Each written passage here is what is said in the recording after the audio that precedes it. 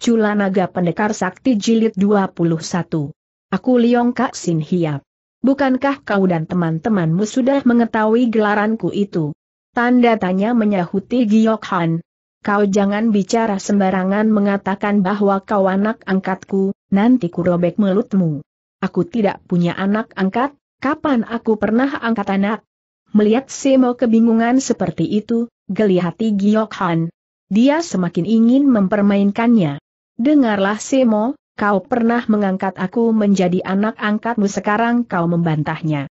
Kau juga telah mengajarkan aku ilmu andalanmu, yaitu jurus-jurus untuk berjalan dengan tangan kiri, sedangkan kedua kaki berada di tengah udara. Nah, lihatlah, bukankah aku mahir menjalankan jurus-jurus ilmu andalanmu itu? Memang Simo melihat bahwa Giok Han mahir sekali mempergunakan jurus-jurus Tok Pai Gin Angnya, tapi dia tak tahu dan tak ingat kapan pernah mengajarkan pemuda ini. Sudah. Sudah. Aku pusing teriak Simo yang kepusingan karena tak juga dia ingat di mana dia pernah bertemu dengan Giok Han, mengangkat jadi anaknya dan malah mewariskan jurus-jurus ilmu silat andalannya, Tok Pai Kang. Dia tak sabar lagi, tubuhnya segera meloncat ke depan, kembali jungkir balik, tubuh itu berputar seperti gangting, dengan tangan kiri Seimo yang menyanggah berat tubuhnya tersebut. Tangan kanannya yang bisa digerakkan bebas menyambar-nyambar ke selangkangan Giok Han, karena Giok Han juga dalam keadaan jungkir balik. Giok Han cerdas, dia dapat melihat dan memakai jurus dua yang dipergunakan Simo. Setelah menghindarkan jari-jari tangan Semo yang mau mencengkeram selangkangannya, dan mengikuti Kero menyerang Semo, ingin mencengkeram selangkangan Simo. Kaget tak terkira Simo. Pemuda ini bisa memakai juga jurus-jurus serangannya padahal tadi. Dia mempergunakan jurus serangan yang jarang sekali dipakai, karena terlalu hebat akibatnya kalau seseorang terkena serangan itu. Tapi, pemuda ini justru bisa balas menyerang dengan mempergunakan jurus yang sama, walaupun tenaga pukulannya tidak sekuat yang dilakukan Simo tapi ini sudah membuat Simo jadi tercengang. Sampai dia meloncat berdiri memandang dengan mata, terbuka lebar-lebar, mulut yang menganga dan lidah iler jatuh menetes. Benar-benar Simo tak mengerti, mengapa pemuda ini bisa menjalankan jurus-jurus ilmu andalannya. Karena penasaran dan heran, kembali Simo jungkir balik, tubuhnya berputar cepat dan tangan kanannya menyerang lagi, sekali ini paha Giok Han. Giok Han waktu itu masih jungkir balik, dia mengelakkan pukulan itu, kemudian mencontoh gerakan yang dilakukan Simo, buat balas menyerang. Simo sekali ini biarpun saking heran, juga tambah penasaran, tidak dihentikan pukulannya. Beruntun dia memukul lima kali. Keruan saja Giok Han jadi repot. Dia berdiri dengan tangan kirinya mempergunakan ilmu Tok Pai Gin Kang, yang dulu pernah diajarkan Simo tapi tak pernah dilatihnya sedangkan yang menyerangnya sekarang justru pemilik ilmu itu sendiri, maka tidak leluasa gerak badan Giok Han. Waktu didesak sampai pukulan ketiga. Giok Han sudah kewalahan dan terpaksa lompat berdiri. Dengan kedua kakinya, barulah dia menghadapi Simo dengan lincah. Sisa dua serangan Simo dihindarkan dengan gampang. Siut. Siut terus juga Simo menghantam dengan dahsyat, mendesak Giok Han. Sekarang Giok Han dapat menghadapinya dengan baik, tangan kanan Simo yang menyambar ke arah tumitnya, dilakukan dengan mengangkat kaki kanannya dan menendang dengan dupakan kuat, mengincar leher Simo. Simo cepat-cepat menyelamatkan lehernya, tangan kanannya menyambar lagi. Tubuhnya terus berputar, sehingga sulit diduga arah mana yang diincar Simo. Bocah, beritahukan dari mana kau curi belajar ilmuku bentaknya penasaran. Sudah ku beritahukan padamu hal yang sebenarnya, aku pernah diangkat jadi anak dan diajarkan ilmumu itu. Jangan kau permainkan aku, nanti mulutmu kurobek lebar-lebar mengancam Simo karena dia semakin penasaran. Bukan cuma mulutnya yang berkata melainkan tangan kanannya sudah menyambar kuat sekali, saling susul, karena dia ingin melihat sampai berapa jauh Giok Han bisa menghadapi ilmu andalannya. Kemarin, waktu dikeroyok Simo, Pak Tong Mo, dan Lem Mo Oke hentak gentar, bahkan bisa memberikan perlawanan yang baik. Sekarang hanya Simo seorang diri, dia tak menemui banyak kesulitan.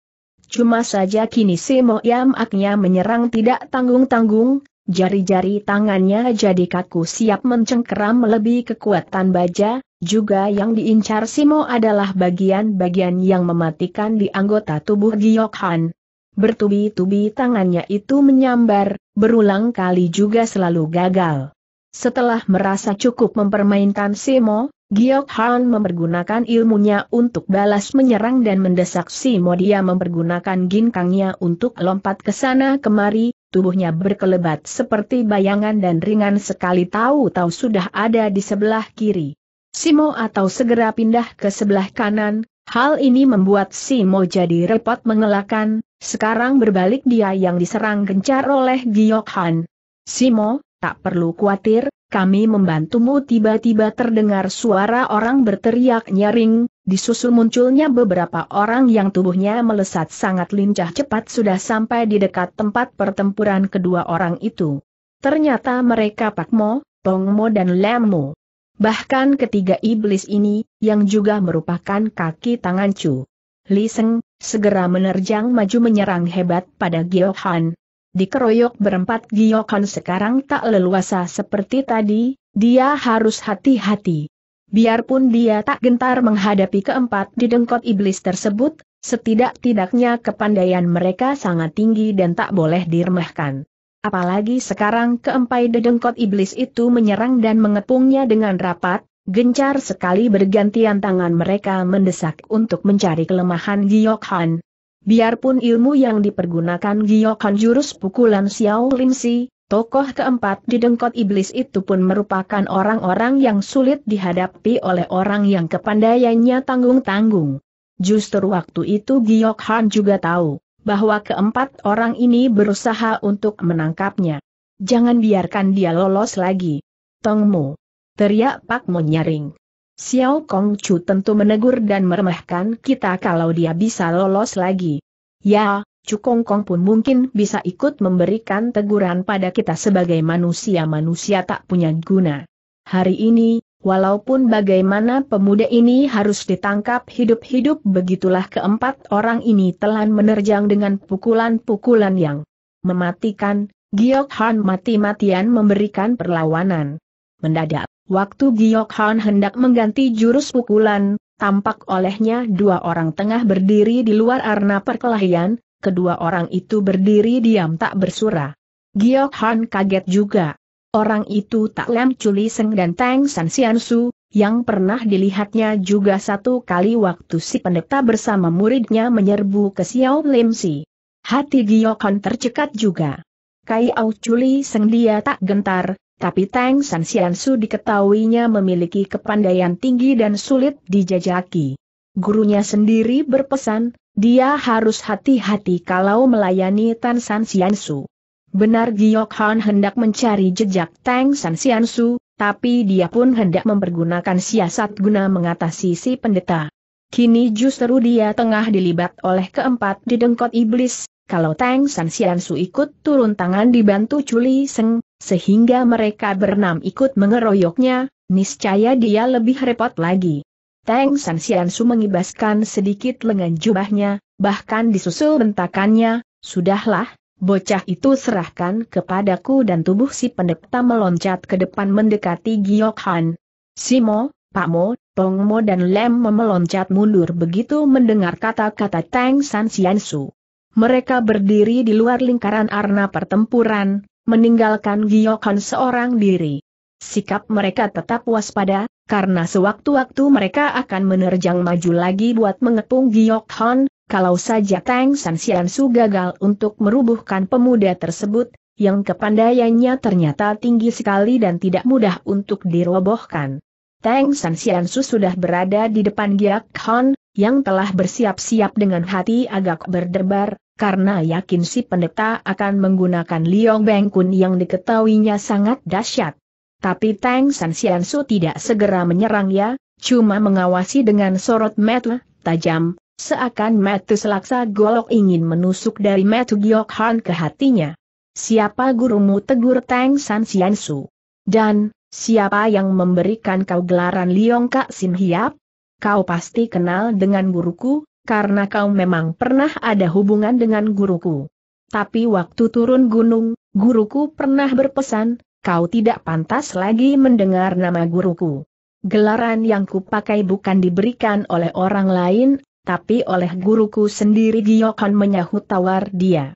Tahu si pendeta Liai, dia berwaspada, matanya tetap mengawasi Tang San Siansu, terutama sekali tangannya. Muka Tang San Siansu berubah, kuning kehijauan, urat-uratnya di kening dan pelipis tampak meringkel menonjol keluar. Menahan kegusarannya, sampai ruas-ruas jari tangannya pucat kehijauan, Jari-jari tangannya itu terkepal kuat-kuat. Baik, aku akan memaksa kau memberitahukan siapa gurumu lewat ilmu silatmu kata Tang San Siansu, dia bukan cuma bicara, tangan kanannya yang terkepal keras terangkat perlahan-lahan siap menyerang. Giokon tak berani meremehkan, dia pun berwaspada mengerahkan tenaga dalamnya pada lengan, ia bersiap-siap menyambuti serangan Tang San Siansu, karena memang pendeta bekas tokoh Xiao Lim yang telah melupakan pintu perguruan dan berbuat murtad itu memiliki kepandaian yang sangat tinggi. Tangan kanan Tang San Xiansu sudah terangkat melewati kepalanya, waktu itulah jari-jari tangannya terbuka, seperti cengkeraman, sikapnya angker, benar-benar seperti seekor naga yang siap menerjang mematikan lawan. Rupanya, Tang San Xiansu sudah mempersiapkan Liong Beng Kun untuk menyerang. Hati Giok Hon agak berdebar, dia mengawasi tangan Tang San Sian Su melayang menyambar mengeluarkan suara keras menderu Syuut. Tanda petik. Dan jari-jari tangan yang siap mencengkeram itu sudah menyambar ke arah kepala Giok Hon, tapi belum lagi Giok Hon menyambuti, jari-jari tangan itu sudah berubah arah sasaran, di mana tahu-tahu sudah berada di depan dada Giok Hon. Dari Tai Giok Sian Su Giok Han pernah mempelajari Liong Beng Kun, juga pernah melatihnya dengan giat. Dia tahu bahwa yang sedang dipergunakan Tang San Sian Su adalah Liong Sin Kong Chiang, tangan sinar sakti naga, jurus ini memusatkan tenaga lengan seluruhnya pada ruas-ruas jari tangan, dan kelima jari tangan itu akan kuat sekali melebihi baja, terlebih lagi bagi mereka yang memiliki sinkang tinggi, pukulan dengan jurus ini bisa mematikan. Yang luar biasa dan membuat Giokon kaget, dari jari-jari tangan Tang San Siansu mengeluarkan uap tipis kebiru-biruan ini yang tak pernah diketahui Giokhan. Sebagai orang yang mempelajari dan mahir mempergunakan juga jurus-jurus Liong Beng Kun, Giokhan tahu, jika jurus ini dipergunakan dengan mempergunakan tenaga berlebihan, bisa mencelakai dirinya sendiri dan tampaknya memang Tang San Xiansu mempergunakan jurus itu dengan pemusatan tenaga dalam sepenuhnya, bahkan berlebihan, pada kelima jari tangan, sehingga mengeluarkan asap biru. Cuma saja Tang San Xiansu tak kekurangan suatu apa pun, malah waktu menyerang angin pukulannya begitu tajam seperti ingin merobek badan Giok Hon, biarpun kelima jari tangan itu belum ingin menyentuh badannya. Gio tak mengetahui bahwa Tang San Xiansu sudah melatih Liong Heng Kun hampir pada puncak kesempurnaan juga memang untuk menambah lihainya Liong Beng Kun sengaja Tang San Xiansu tiah merubah care-care pernapasannya, sehingga dapat memusatkan tenaga dalam sepenuhnya pada kelima ruas jari-jari tangannya tanpa mencelakainya. Tapi care berlatih Tang San Xiansu sudah menjurus ke jalan yang sesat, Itulah sebabnya mengapa waktu dia memusatkan tenaga dalamnya pada kelima ruas jari-jari tangannya, keluar asap yang tipis, kebiru-biruan. Tanpa membuang waktu Giok Han menyambuti pukulan itu dengan mempergunakan tangan kirinya, tangan kanannya seperti seekor naga mencengkeram dada Tang San Siansu. Ihaha Tang San Siansu menjerit kaget, karena Giok Han mempergunakan jurus dari Liong Beng Kun. Dia bahkan melompat mundur dengan berputar, mengawasi Giok Han dengan biji mata yang seperti mau meloncat keluar dari rongga mata. Siapa yang mengajarkan Liu Beng Kun padamu bentaknya bengis. Giok Han sudah berdiri tegak lagi, sengaja ia bersikap meremahkan Tang San Su, walaupun sebetulnya dia tetap waspada tak lengah sedikit pun juga. Sudah kukatakan, guruku cukup kau kenal, tapi sayangnya aku tak boleh memberitahukan nama guruku padamu, kau tak pantas mendengar nama guruku. Bagaikan seekor naga yang meraung murka, kedua tangan Tang San Siansu bergerak-gerak sehingga terdengar suara, syut, kelebak, wut, kelebuk, disusul dengan suara tulang-tulang berkerotok di sekujur tubuh Tang San Siansu.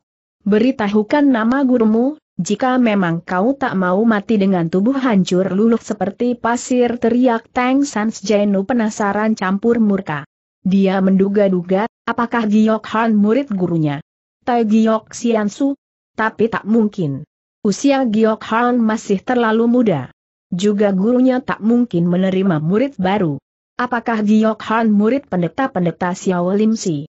Juga tak mungkin murid-murid Tai Giok Su cuma Tang San yang menerima warisan ilmu pukulan Liong Beng Kun, karena itu, dia jadi bingung, siapa guru pemuda ini.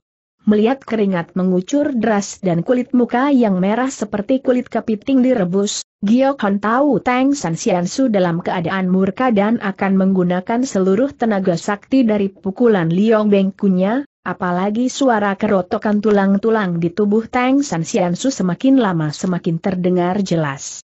Culi Seng mengawasi dengan mata terbuka lebar, dia juga heran mengapa gurunya bisa murka begitu, sedangkan biasanya Tang San Xiansu sangat tenang dan meremehkan lawan. Sekarang gurunya pun tampaknya mempergunakan serta mengerahkan sebagian terbesar tenaga dalamnya untuk menggunakan pukulan sakti Liong Bengkun. Segera Culi Seng tahu akan terjadi pertempuran yang seru. Tidak urung dia pun heran. Mengapa Giok Han bisa menggunakan jurus Liong Beng Kun? Dia yang menerima warisan ilmu pukulan Liong Beng Kun dari suhunya, baru memiliki kulitnya saja, belum berhasil menguasai semua jurus. Pukulan-pukulan sakti itu, mungkin tak akan sanggup menyambuti pukulan yang tadi dilakukan suhunya. Kenyataannya Giok Han berhasil memunahkan tenaga pukulan itu sehingga suhunya harus memusatkan pengerahan tenaga sakti pada lengannya bertambah besar. Giok Han sendiri sudah memusatkan tenaga singkangnya, dia tahu singkangnya belum bisa mengimbangi singkang Tang San Su, tapi dia sudah diberitahukan oleh gurunya, bagaimana menghadapi Tang San Su. Dia bersiap-siap dengan mata awas.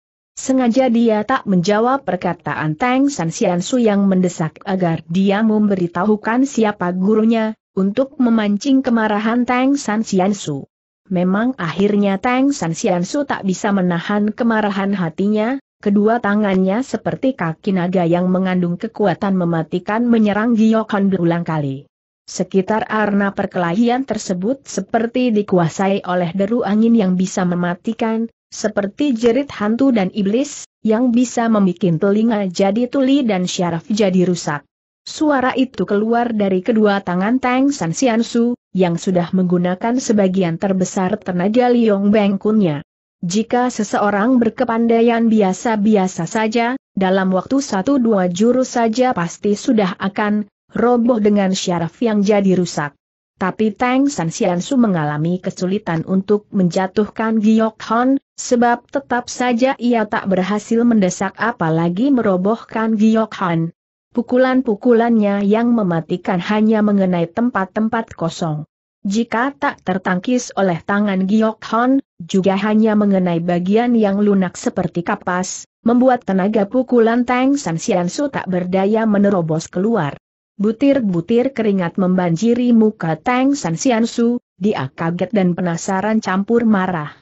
Kaget karena melihat Giokon seperti memiliki semacam ilmu pukulan yang setiap jurusnya bagaikan mengimbangi dan mengiringi Liong Bengkun, sehingga setiap pukulan Liong Hengkunnya seperti lenyap tak berarti apa-apa.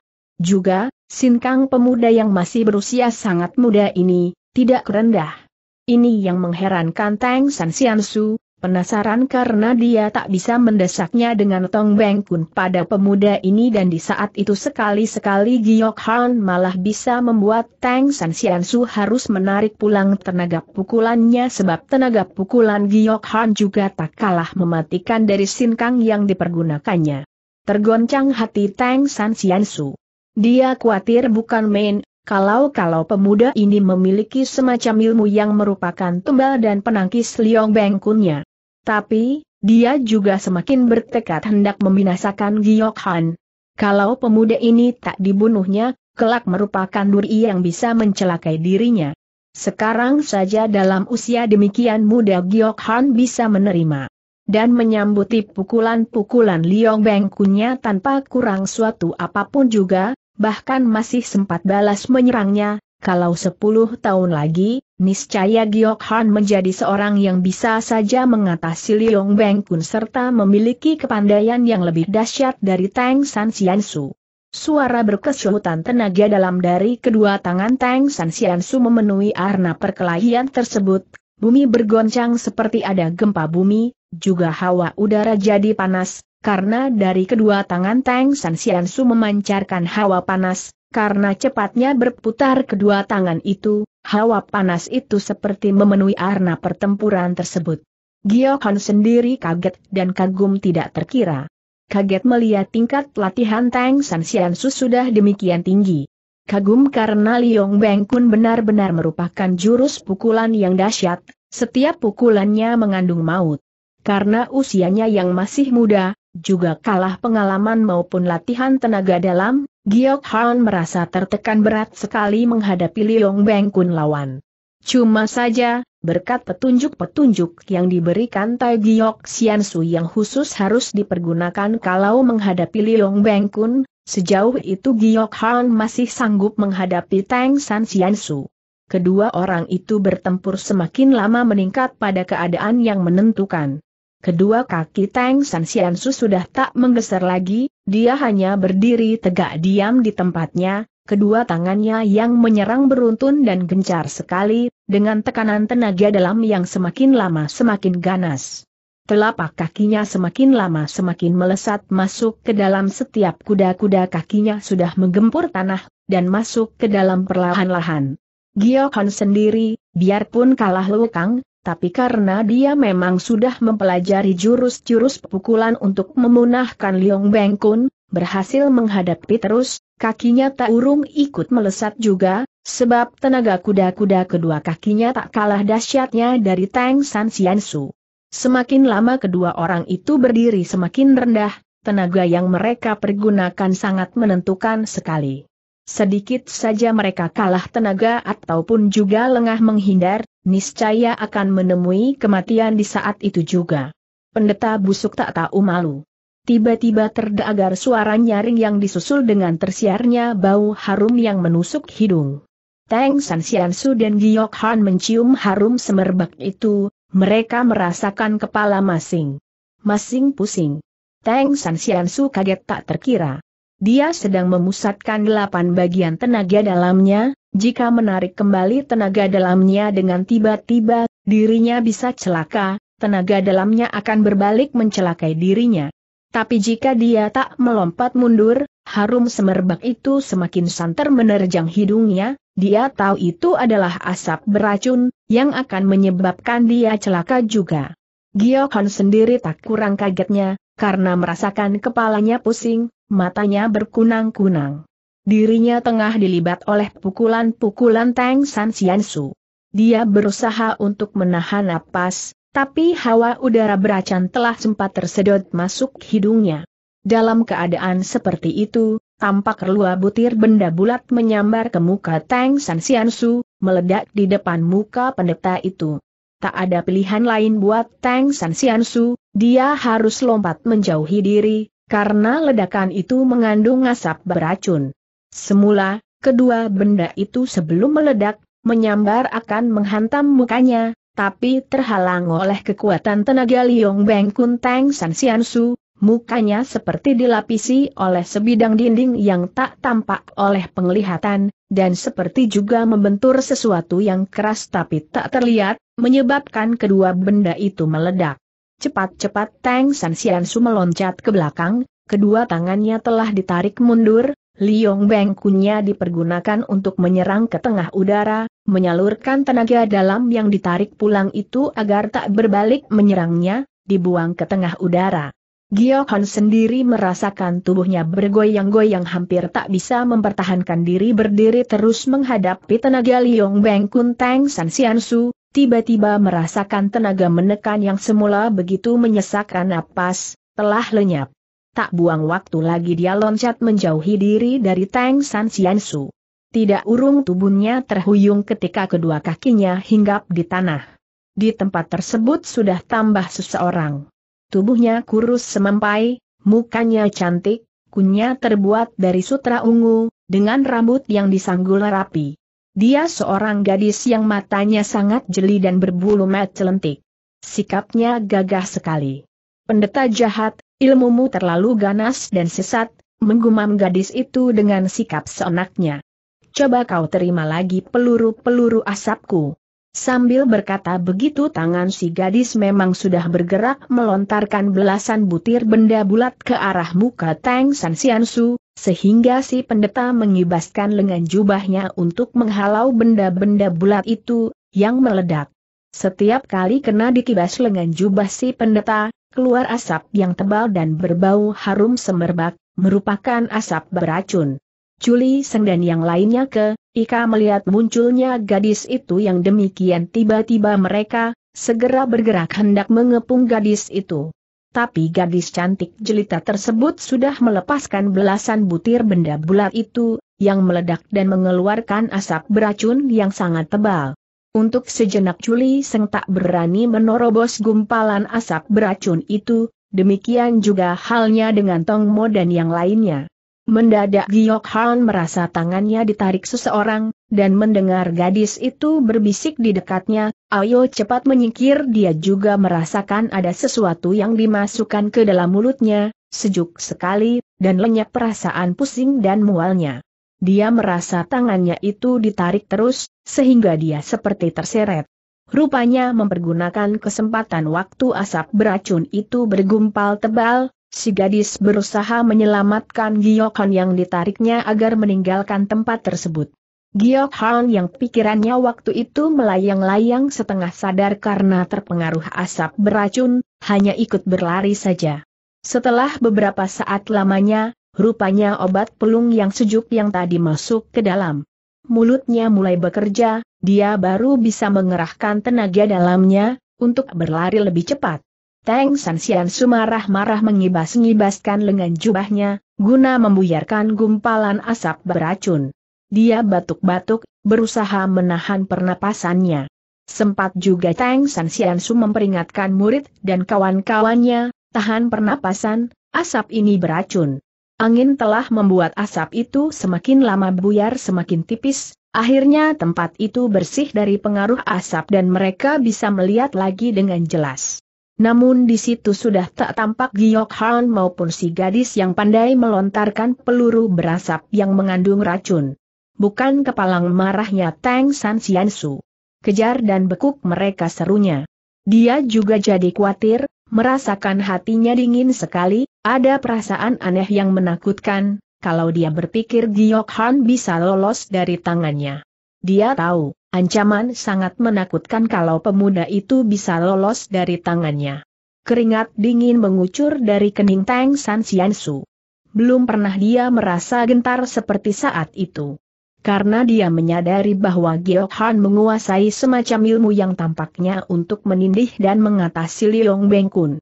Juli Seng dan yang lainnya sudah berusaha mencari Giok Han dan gadis itu, tapi mereka tak berhasil menemui kedua orang itu.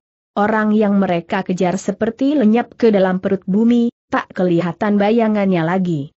Lama juga setengah harian Culi Seng, Tongmo, Pak Mo, Lam Mo dan Simo mencari Giok Hon dan gadis yang menolonginya, tapi usaha mereka gagal. Dengan uring-uringan Tang San Siansu mengajak mereka pulang, tapi sepanjang perjalanan pendeta ini marah-marah tak sudahnya, Culi Seng dimaki terus-menerus dengan keras, dan diperintahkan mencari jejak Giok Hon dan gadis itu. Setelah berlari cukup lama, kesadaran Giok Hon pulih kembali. Pengaruh asap beracun yang tadi sempat terhisap olehnya kini sudah berkurang. Dia merasa malu tangannya digenggam oleh gadis cantik di sebelahnya, yang mengajaknya berlari. Ditarik tangannya, tapi gadis itu menggenggam kuat. Karena Giok Han menarik tangannya, gadis itu menghentikan larinya. Kita sudah lolos dari mereka. Tanda seru. Tempat ini jarang didatangi manusia. Menjelaskan si gadis. Giok Han menoleh ke kiri kanan. Ternyata dia berada di sebuah lembah, yang memiliki pemandangan sangat indah. Sejenak Giok Han terpukau oleh pemandangan yang ada di sekitar tempat itu. Tadi dia tak memperhatikan sekelilingnya, karena dia dalam keadaan terpengaruh asap beracun. Sekarang setelah pengaruh asap beracun itu lenyap, dia baru menyadari bahwa dirinya berada di suatu tempat yang demikian indah dan tertutup oleh tebing-tebing yang sangat tinggi menjulang ke langit. Telanlah pil penawar racun, kata gadis itu sambil mengulurkan tangannya memberikan dua butir pil pada Giok Han.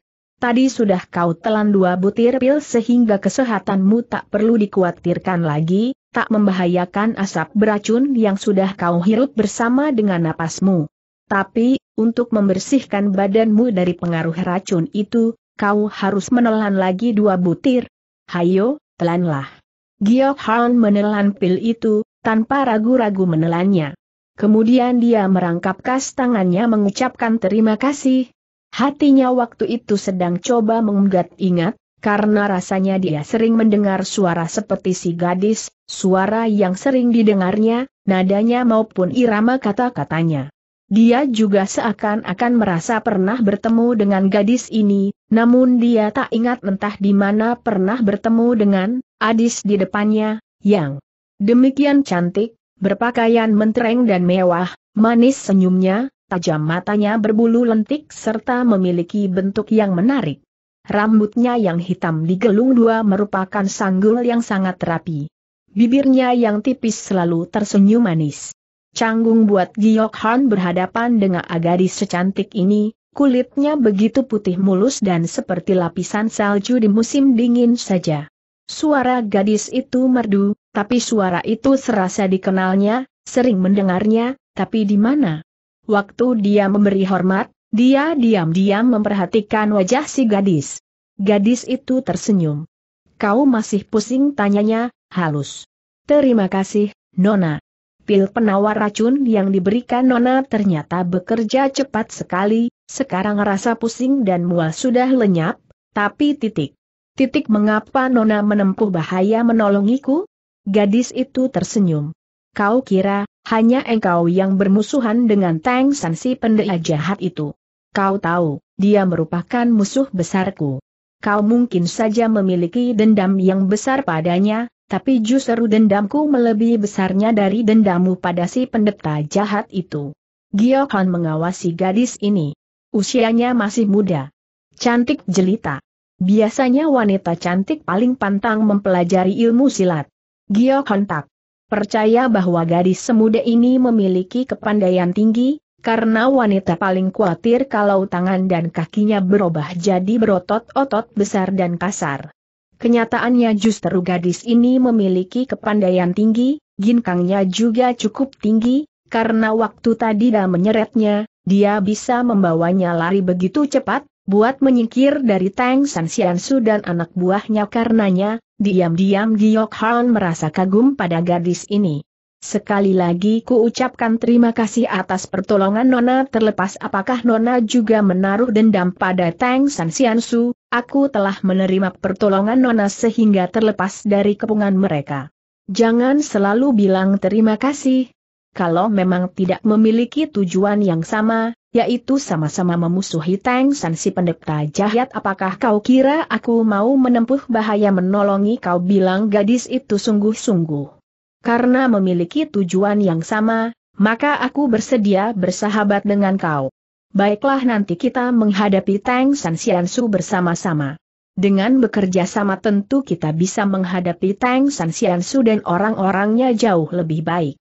Sebetulnya, bicara soal dendam, Aku tak mempunyai dendam apa-apa padanya, cuma mempunyai tugas untuk membasmi dia karena sepak terjangnya yang ganas dan ini atas perintah guruku, sebab Tang San Su merupakan murid murtad dari salah seorang di antara murid-murid guruku. Tapi kau juga mau membantuku untuk menghadapinya, bukan? tentu saja, sudah ku beritahukan bahwa aku juga mempunyai tugas yang diberikan guruku untuk membasminya. Kalau kau memang tak keberatan Nona, bolehkah ku ketahui namamu? Tanda petik. Aku Si Chang. Ayahku Chang Ohon, menjelaskan si gadis. Giok Han jadi merasa lucu, karena ditanya nama kok malah memberitahukan nama ayahnya. Mungkin gadis ini keberatan buat memberitahukan namanya padanya. Dia tidak memaksa terus. Oh ya, kau belum lama yang lalu mempunyai sahabat, bukan tanya gadis ini sambil memperhatikan Giok Han yang tersenyum-senyum mengawasinya. Giok Han jadi heran, lenyap senyumnya, siapa sahabatku yang kau maksudkan tanyanya. Hem si gadis tersenyum sinis kau mengakui seseorang sebagai sahabatmu, tapi baru berpisah beberapa hari saja sudah kau lupakan. Maaf Nona Chang, kalau kau tak memberitahukan siapa sahabatku yang kau maksudkan, bagaimana mungkin aku mengetahui siapa yang kau maksudkan? Tanda tanya. Gadis itu tak berkata apa-apa, dia memutar tubuhnya, memandang tebing yang tinggi menjulang ke langit, dia menggumam, benar lidah tak bertulang dan manusia selalu bicara manis. Sahabat, sahabat, sahabat, tapi itu di mulut dan merupakan kata-kata basa-basi sebagai pemanis. Sesungguhnya, sulit sekali mencari sahabat sejati di dalam dunia ini. Giok Hon tambah heran menyaksikan kelakuan Nona Chang, dia mengawasi dengan hati merasa tak enak, karena itu mungkin menyangka dia berpura-pura. Tiba-tiba Nona Chang memutar tubuhnya mengawasi tajam pada Giok Han. Sekarang kau mempunyai sahabat berapa orang tanyanya? Tidak banyak. Hanya beberapa orang. Hanya beberapa orang? Tapi yang belakangan ini orang yang menjadi sahabatmu itu ada beberapa orang?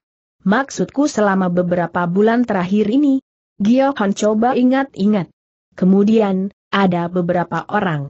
Siapa-siapa tanya gadis itu, wajahnya berubah.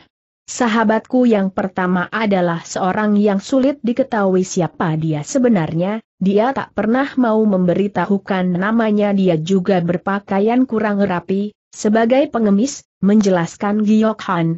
Si gadis memotong, seorang pengemis kotor mesum mengapa harus kau akui sebagai sahabat? Apalagi kau bilang dia berpakaian jorok dan tidak rapi, mesum sekali tentunya, mana pantas menjadi sahabatmu. Giokon cepat menggeleng. Sahabat sejati tidak melihat kaya miskin, biar dia berpakaian tidak rapi, tapi dia mempunyai pendirian dan sifat yang gagah yang patut dikagumi. Tapi, tapi akhirnya ku ketahui dia seorang gadis. Berkata sampai di situ, mendadak Giok Han menepuk tangannya dan berjingkrak seperti kaget campur girang ah. Sekarang aku tahu. Aku tahu. Gadis itu menatapnya heran, dia bertanya ragu-ragu, apa yang kau ketahui? Aku sudah ketahui menyahut Giok Han sambil mengawasi gadis di depannya sambil tersenyum-senyum. Kau adalah sahabatku itu. Kaulah, si Pengemis itu tapi berkata begitu Giok Han menyesal sendirinya. Mana mungkin dia si pengemis merupakan nona secantik dan berpakaian demikian mewah? Tapi waktu menyebut si pengemis diketahui pada akhirnya adalah seorang wanita, dia jadi teringat akan suara si pengemis, yang nada dan suaranya sama dengan nada suara gadis di depannya. Memang waktu pengemis itu melarikan diri ketika kopiahnya terpukul jatuh sehingga rambutnya turun beriap, Giok Hon tak bisa melihat jelas. Justru merasa suara Nona Chang sama dengan suara si pengemis, dia jadi menduga begitu, namun dia jadi menyesal sendiri. Tak mungkin gadis secantik Nona Chang mau berpakaian sebagai pengemis yang kotor mesum seperti itu. Gadis itu sudah memandangnya sambil tersenyum kau bilang aku si pengemis sahabat itu. Giok Han memandang ragu-ragu, namun akhirnya dia bilang bimbang, Nona jangan marah, tapi, suaramu sangat sama seperti sahabatku itu. Tanda seru. Coba kau perhatikan baik-baik, apakah aku mirip sahabatmu itu? Giok Han memperhatikan si gadis. Diihatnya pipi si gadis memerah malu, berwarna dadu, menambah. Mukanya semakin cantik saja. Dia ragu-ragu. Gadis ini demikian cantik jelita, tak mungkin menganut penghidupan sebagai pengemis. Pakaiannya demikian mewah dan mentereng, memakai perhiasan bermacam-macam berkilauan. Tapi, bentuk dan tinggi tubuhnya memang hampir sama dengan si pengemis. Dia jadi semakin ragu-ragu. Bagaimana? Miripkah aku dengan sahabatmu itu? Tanda tanya-tanya gadis itu lagi. Bentuk badan Nona memang mirip dengan bentuk badannya, juga tinggi tubuh Nona, suara Nona juga sama, tapi, Mana mungkin sahabatku itu adalah kau, kalian merupakan langit dan bumi, satu dengan yang lainnya sangat berbeda. Sahabatku itu adalah pengemis yang berpakaian tak rapi, muka yang selalu kotor, sedangkan kau adalah gadis, gadis yang cantik jelita dan, dan berpakaian demikian bagus. Pipi Nona Chang berubah mendengar kata-kata Giok Han yang secara tak langsung memujinya. Dia sampai mendehem sambil menunduk. Apakah sahabatmu itu, secantik, secantik aku tanya Nona Chang kemudian, suaranya perlahan. Aku tak melihat jelas mukanya, karena mukanya sangat kotor corang-coreng oleh debu dan dia pun memakai kopiah. Waktu bertempur dengan orang-orang culiseng, kopiahnya jatuh dan tampak rambutnya panjang, tapi aku tak keburu melihat.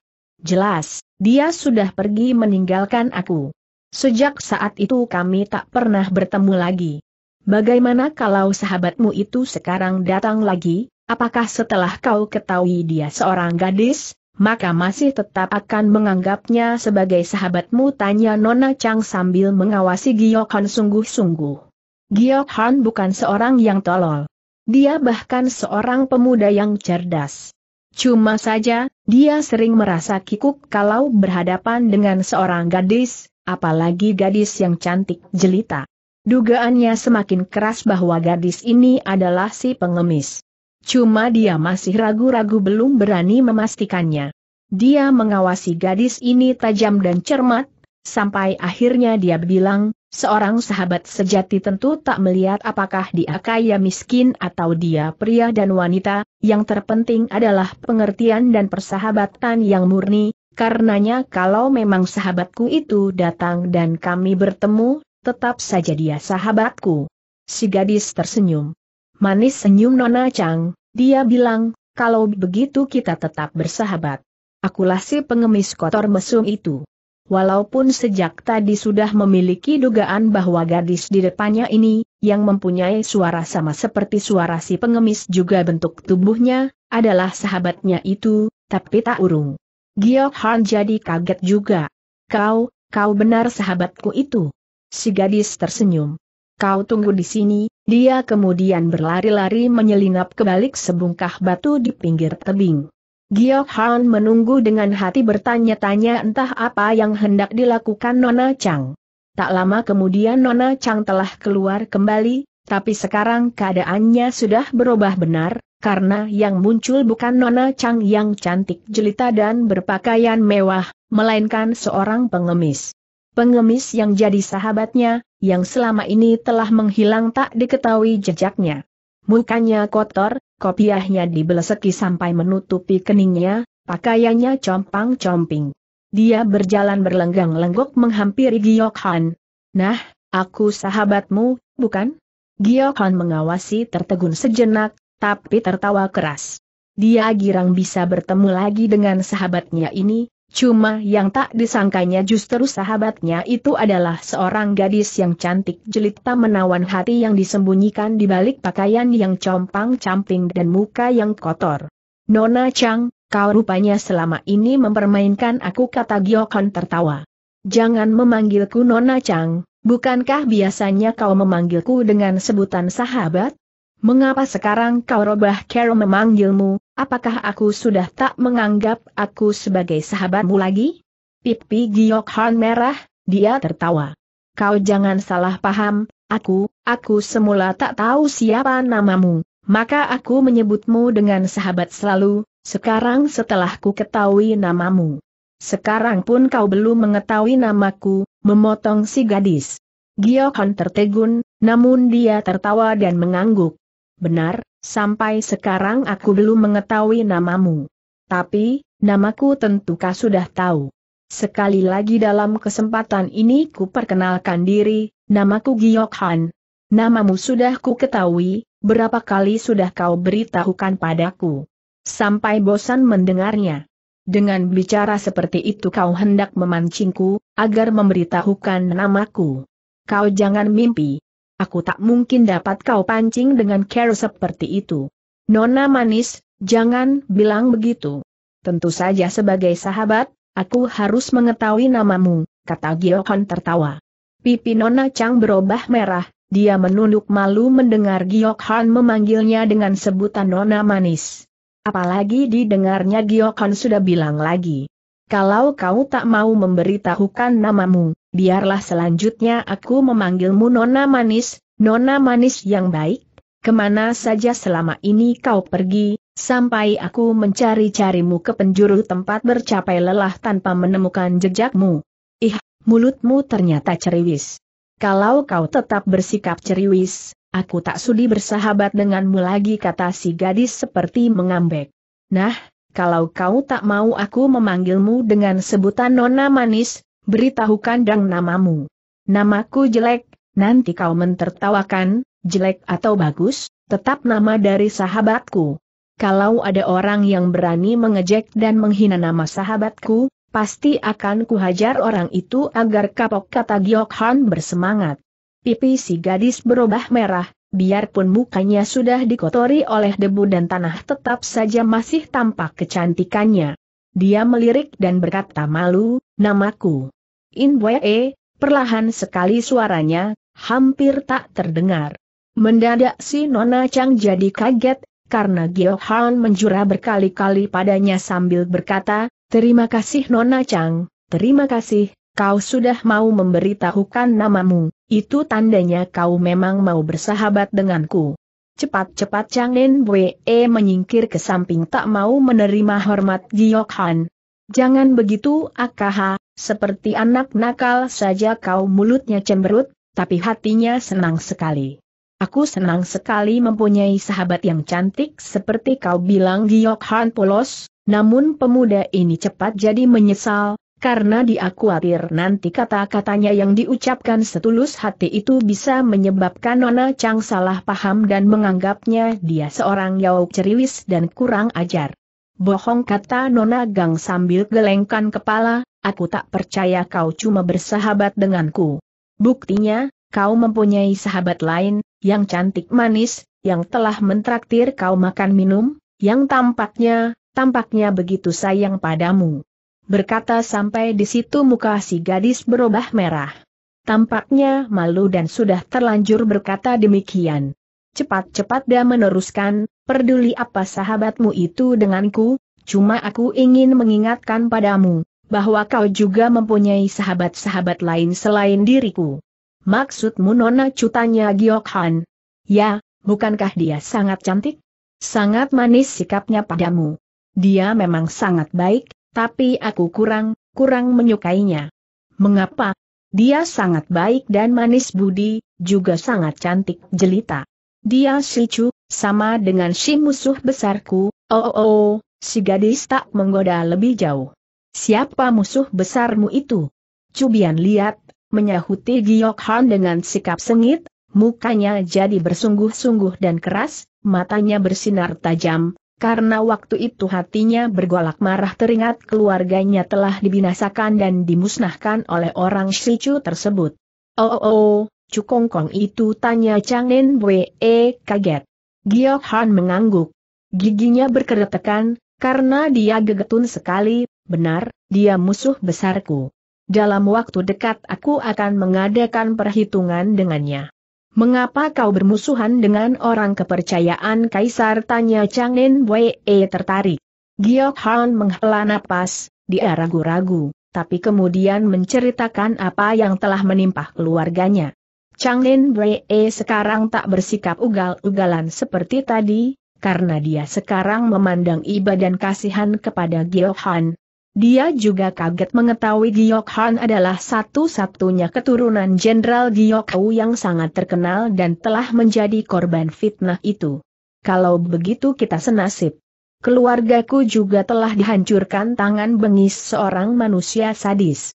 Aku pun sudah yatim piatu sejak kecil, muka Nona Chang berubah muram dan sedih. Keluargamu juga dihancurkan seseorang tanya Giok Han yang sekarang jadi kaget. Chang Lin BWM mengangguk. Ya, keluargamu dihancurkan oleh Chu Kong Kong, keluargaku juga dihancurkan tapi oleh orang lain, yaitu Tang San si pendekta jahat itu. Ayah ibuku dibinasakannya, beberapa orang saudaraku, dua kakak laki-laki dan tiga orang adik perempuanku telah dibinasakan juga. Cuma aku seorang yang berhasil lolos dari kematian, itu pun berkat pertolongan guruku keluargamu dihancurkan oleh Teng San Sian Su tanya Giokon menegasi. Ya karenanya aku sekarang hendak membalas sakit hatiku padanya mengangguk Nona Chang. Kau, kau tentu mau membantuku menghadapinya, bukan? Dengan bersemangat segera Giok Han menyahuti. Tentu saja aku mau membantumu. Biarpun keluargamu dihancurkan Teng San Sian Su, tapi yang harus bertanggung jawab adalah Chu Bian Liat. Bukankah Tang San Sian Su juga bekerja pada keluarga Chu itu, menghamba dan menjadi guru puteranya Chu Bian Liat, yaitu Chu Li Seng. Chang Lin Wei berjingkrak dengan muka merah padam, dia berseru bersemangat. Tang San si pendekta jahat dan Chu Bian Liat memang harus dibasmi, mereka berdua sama-sama manusia berhati iblis, yang selalu mencelakai orang lain. Kemudian dia menoleh pada Giok Han, katanya lagi, kalau begitu, kita akan bekerja sama untuk membasmi kedua orang itu. Giok Han mengangguk bersemangat sekali menghampiri si gadis, menggenggam tangan Chang Lin Wei, katanya dengan gagah, ya aku akan bekerja sama dengan kau untuk membasmi Tang San Sian Su dan Chu Bian Liat. Mendadak Giok Han ingat dia telah memegang tangan si gadis, mukanya jadi merah dan cepat-cepat melepaskan, sedangkan Chang Lin Wei waktu dipegang tangannya, pipinya terasa panas, dia malu bukan main, tapi tak ditariknya tangannya dibiarkan. Si pemuda memegangnya, sampai akhirnya si pemuda melepaskan genggamannya itu. Tangan yang sangat hangat sekali. Maaf, kata Giohan sambil menunduk malu. Aku terlalu lancang dan kurang ajar berbuat tak sopan. Chang Lin Wei menggeleng. Kau adalah sahabatku, katanya menghibur. Kau seorang sahabat yang baik, aku percaya kau tak mempunyai tujuan-tujuan yang buruk, sejak pertama kali kulihat segera ku tahu kau adalah seorang yang baik hati seorang laki-laki jantan. Tapi aku menyesal telah mempermainkanmu, aku ingin minta maaf padamu. Mempermainkan aku? Kapan dan bagaimana kau mempermainkan aku tanya Giok Han heran. Aku pernah membuat kau pusing dan terheran-heran, karena pelayan rumah penginapan telah kuberikan sejumlah uang dan membayarkan semua makan dan menginapmu di rumah penginapan tersebut, dengan demikian selalu membuat kau heran karena selalu ada orang yang telah membayarkan makanmu. Oh, oh, oh, oh, kalau begitu yang selama ini mempermainkanku adalah kau berseru Giok Han. Meudadak dia tertawa dan menepuk jidatnya. Benar-benar aku tolol. Apa yang kau tertawakan tanya Chang Lin Wei. Aku benar-benar tolol. Kalau siang-siang aku tahu yang membayarkan makanku dan juga mengaku sebagai calon, calon istriku adalah kau, tentu aku tidak akan, tidak akan repot-repot menyelidiki, akan menerimanya dengan girang. Setelah berkata begitu Giyokan nyengir. Muka Chang Lin Wei berubah merah, dia melengos. Kalau mulai ceriwis, kalau kau berani ceriwis lagi, aku tak akan meladenimu. Tidak berani lagi, Nona manis. Kau adalah sahabatku, bukankah wajar seorang sahabat membayarkan makan sahabatnya kata Giok Han cepat, karena dia tahu si gadis merasa malu dan canggung. Aku berterima kasih sekali padamu karena telah membayarkan semua makanku. Sayangnya waktu itu aku tak mengetahui, sehingga tak bisa cepat-cepat mengucapkan terima kasih padamu. Sudah jangan menggodaku terus. Sekarang kita harus memikirkan dengan care apa harus menghadapi Tang San si pendekta jahat. Dia memiliki ilmu yang sangat tinggi dan bukan lawan yang mudah dihadapi. Nanti akan kita rundingkan caranya yang terbaik. Sekarang kau ceritakan dulu mengapa keluargamu dicelakai Tang San Siansu. Muka si gadis berubah murung, namun dia menceritakan juga riwayatnya.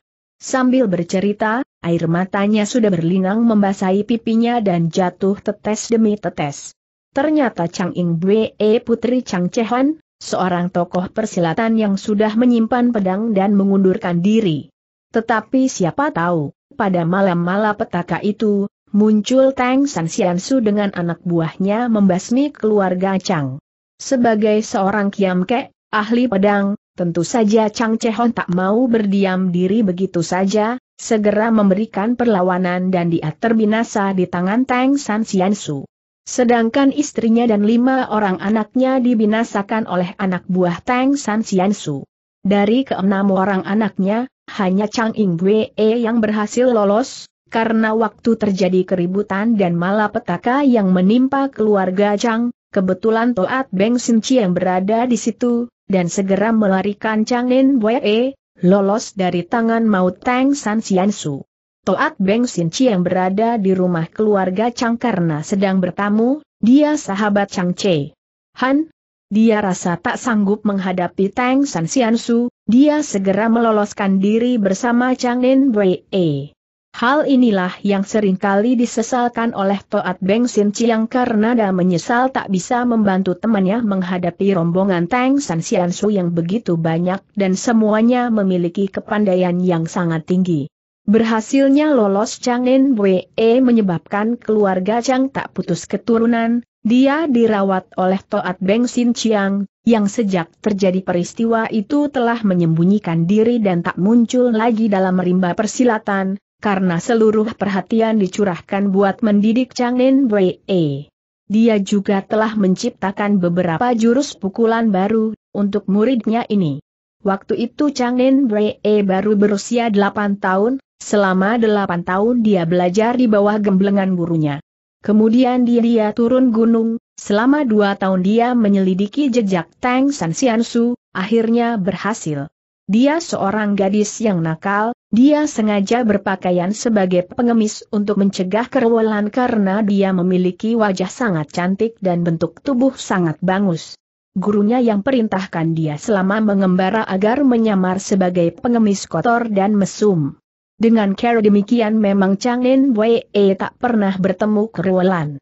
Sebagai pengemis kotor dan mesum tentu saja tak ada pemuda-pemuda atau laki-laki metu keranjang yang menggodanya.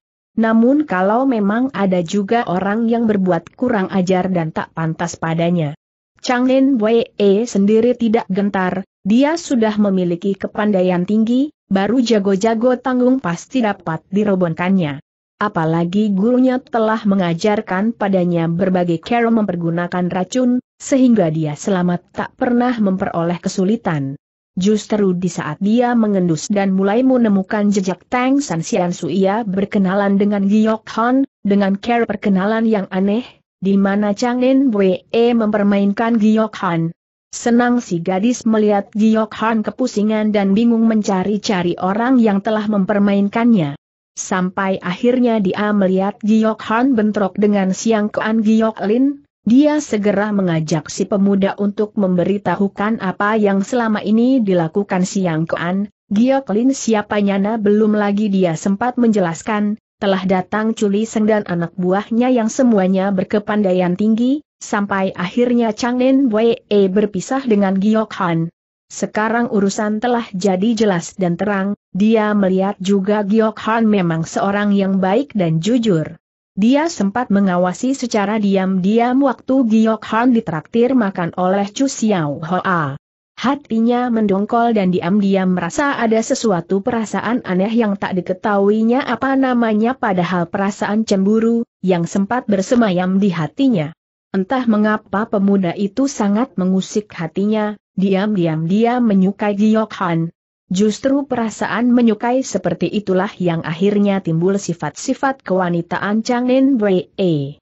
Setiap wanita tentu akan berusaha sekuat tenaga agar ia sangat cantik jelita dan menonjolkan kelebihan-kelebihannya di mata orang yang disukainya, dan demikian juga dengan Changin Wei.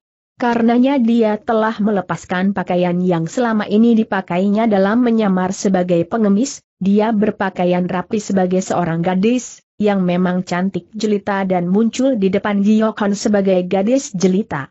Sambil menyusut air matanya Chang Nen Bwe menyudahi ceritanya.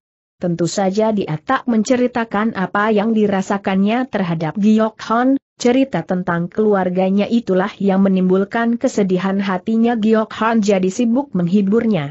Tapi semakin dihibur oleh Giok Han, bukannya berhenti air mata si gadis, bahkan jadi semakin deras mengucur keluar, karena dia jadi semakin sedih menerima perlakuan yang sedemikian manis dari sahabatnya, pemuda yang disukainya. Giok Han sampai bingung dan kebuakan sendiri, karena semakin dihiburnya gadis Uu jadi semakin sedia saja tangisnya, karena bingungnya Giok Han sampai diam dan bengong saja, mengawasi si gadis menangis. Justru Giok Han bengong mengawasi dengan mata, terbuka lebar-lebar karena kebingungan, mendadak Changin Brei mengangkat kepalanya dan tertawa, padahal air matanya masih mengucir keluar dan pipinya masih basah. Dia merasa lucu melihat sikap Giok Han. Kenapa kau bengong seperti patung saja tanda seru tanya si gadis lucu campur mendongkol. Apakah ada yang aneh di tubuhku? Atau ada yang tak lengkap di badanku? Mataku mungkin picek sebelah, atau mulutku tak benar letaknya miring ke samping? Giok Han kaget cepat-cepat menggeleng. Bukan, bukan begitu. Aku bingung kau menangis terus-menerus. Rasanya aku jadi ingin ikut menangis. Kalau kau mau ikut menangis, mengapa tak ikut menangis? Tanya si gadis bertambah lucu. Ayo menangislah. Dan dia jadi tertawa sendirinya setelah mengajurkan begitu. Giok Han juga tertawa air mataku tapi tak mau keluar, justru karena tertawa geli terus-menerus, malah air mata Giok Han sampai keluar. Mereka jadi merasa dekat dan senasib, mereka pun jadi akrab di waktu itu, karena, mereka segera tahu bahwa mereka mempunyai musuh yang sama yaitu Cukong Kong Chu Bian Liat dan Tang San Sian Su. Mereka berdua sudah bertekad hendak bekerja sama untuk membasmi musuh guna membalas sakit hati mereka. Kemudian kedua muda-muda ini meninggalkan lembah itu sambil merencanakan apa yang hendak mereka lakukan terhadap musuh besar mereka. Malam itu bulan bersinar cukup terang. Berkilauan, sinarnya seperti cahaya yang membias ke sekitar tempat itu, yaitu sebuah jalan raya yang cukup lebar di tengah-tengah kota, Beberapa orang penduduk kota ada juga yang tengah duduk-duduk di halaman depan rumah masing-masing, untuk memperoleh hawa sejuk di malam yang kering tersebut sambil menggoyangkan perlanan lahan. Kipasnya dan ada juga yang menikmati keindahan bulan dan udara malam sambil menghisap huncuenya. Serombongan orang berkuda tampak menyusuri jalan itu, jumlah serombongan itu cukup banyak, mungkin lebih 40, dan pakaian mereka jelas semuanya tentara kerajaan. Tentu saja beberapa orang penduduk yang sedang berangin-angin di muka halaman rumahnya jadi kaget dan heran. Mereka yang takut dan bernyali lemah segera cepat-cepat masuk ke dalam rumah, sedangkan beberapa orang yang agak berani, tetap di halaman rumahnya mengawasi bimbang entah apa yang hendak dilakukan rombongan tentara kerajaan tersebut. Rombongan tentara kerajaan itu berhenti di depan sebuah rumah tak begitu besar, yang pintunya tertutup rapat-rapat. Salah seorang dari rombongan pasukan kerajaan itu meloncat turun, berbisik-bisik pada seorang bertubuh tinggi besar berpakaian sebagai perwira, orang itu mengangguk-angguk dan kemudian orang yang tadi meloncat turun dari kudanya menghampiri pintu rumah. Menendang kuat-kuat pintu itu sambil berseru, buka pintu, kami pihak berwajib. Pintu terbuka dan keluar seorang laki-laki tua berusia hampir 60 tahun dengan tubuh agak bungkuk dan kumis jenggot yang sudah memutih, sikapnya takut-takut dan gugup, dia bertanya bingung, ada, ada apa, Taijin? Tentara kerajaan yang seorang itu tak menyahuti, cuma mendorong kuat-kuat daun pintu sampai orang tua itu ikut terdorong terhuyung hampir jatuh. Mana pemberontak itu? Kau jangan menyembunyikannya kalau tak mau celaka bentaknya. Pemberontak-pemberontak apa Taijin? Aku. Aku benar-benar tak tahu, Taijin, tapi dia tak bisa meneruskan perkataannya, karena tangan tentara itu sudah menghajar mulutnya keras sekali sampai dia terhuyung. Tentara kerajaan tersebut melangkah masuk, tapi waktu itulah dia menjerit kuat-kuat, tubuhnya mundur beberapa langkah dengan mata terbuka lebar-lebar. Darah sudah menyembur dari perutnya yang tertembus sebatang pedang, kemudian dia terjungkel rubuh tak bernapas lagi.